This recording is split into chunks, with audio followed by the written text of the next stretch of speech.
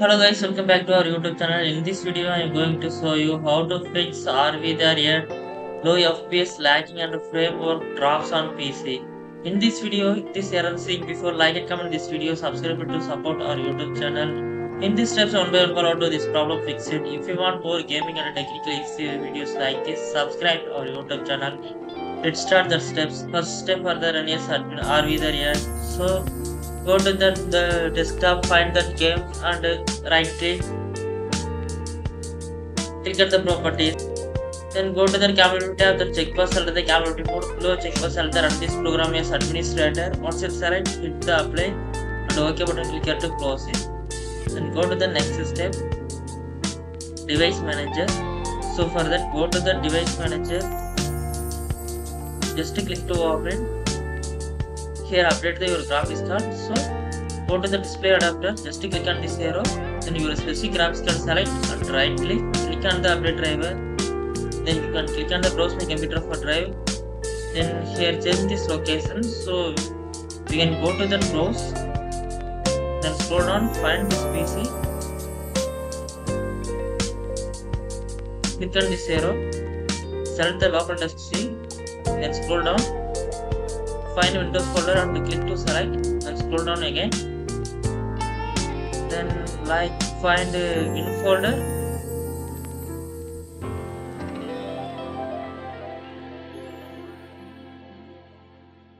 Then hit the ok button click here to change this location. I show you. Here change it. Then let me pick first from list available. Just click to. Then your specific graphics card select and just click on the next button click to update your graphics card. Then go to the next step.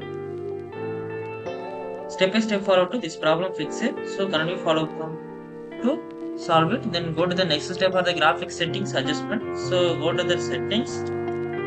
You can click to open it then click on the system. Then display. Like scroll down. Find graphics card. Then when optimized for windows games if this turn it off just click to turn it on. Then hardware accelerator GPU scheduling if this turn it off just click to turn it on. Then close it then go to the next step. New NVIDIA update your graphics card manually update. So for that go to the uh, your graphics card name. Then we can go to the click to open it. Then go to the driver if there is available update just download button click here to update the latest version in your graphics card. This step finish then only then go to the next step. The next step for the advanced system settings. So go to the windows search bar then type that advanced view advanced system settings. Just click to open it then go to the advanced tab then below click on the settings like hit the advanced tab then click on the change then unselect the automatic image paging below select the custom size then initial size value and maximum size value calculate so open to the your calculator then type the your RAM value into 1024 into 1.5 is equal to this value initial size value given after that then RAM into 1024 into 3 is equal to this value maximum size value given after that click the set and you like hit the OK and close it like that hit the OK and close it then come to back same like that then after that restart your system then your problem fix it then go to the next step for the windows update checking sometimes your windows your system is low if you get this error so go to the settings we can click to open it then go to the windows update